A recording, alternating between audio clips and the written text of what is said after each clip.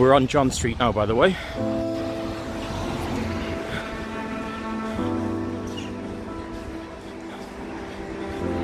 So normally on a Saturday night, this place would be heaving with uh, people out and about, hens and stags. Here's another popular venue there. Biddy Early's, famous for Big John's karaoke on a Thursday night, which uh, I admit it, I have partaken in it, so don't tell the whole world. it's actually more traffic than I envisaged. But then it was a very pleasant day earlier. The sun was out, so people should have been staying at home, but I think they just saw it as an excuse. If they can get away with it, I guess they will. But I'm uh, socially isolating as much as I can, trying to follow the rules, and if I see anyone, I try and keep at least two meters away from them.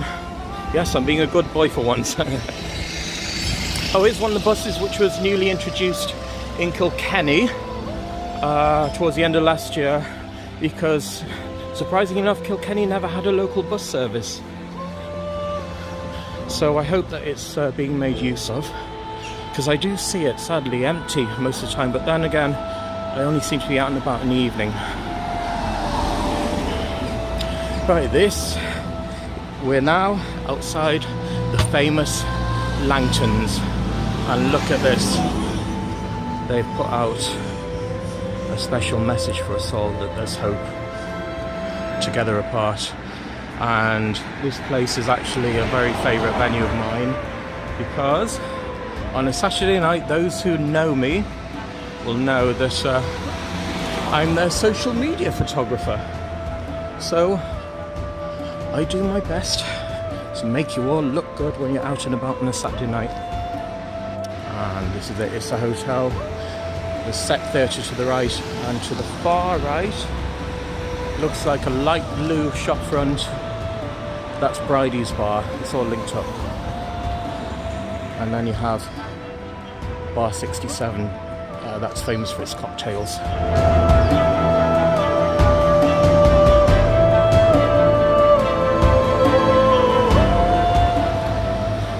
now here's another popular spot made famous by the likes of Jer Lingus. We gave Jer a big up on my uh, Algarve video when it came to the Thai massage. he loves Thailand, so we have to give him a mention. He's always in there at the weekend, enjoying himself like you should do. Just uh, the main part, or rather the fun part, is just uh, the entrance on that street there, which is Magdalen Street. And we continue up John Street.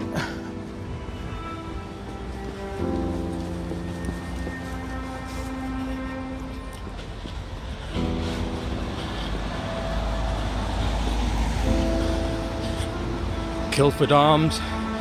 That's another well-known spot in Kilkenny.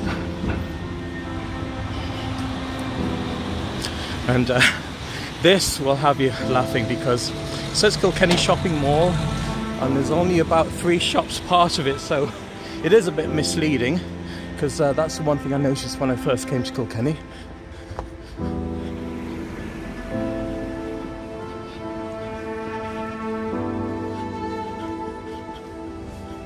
Oh, here's another great venue I should show you.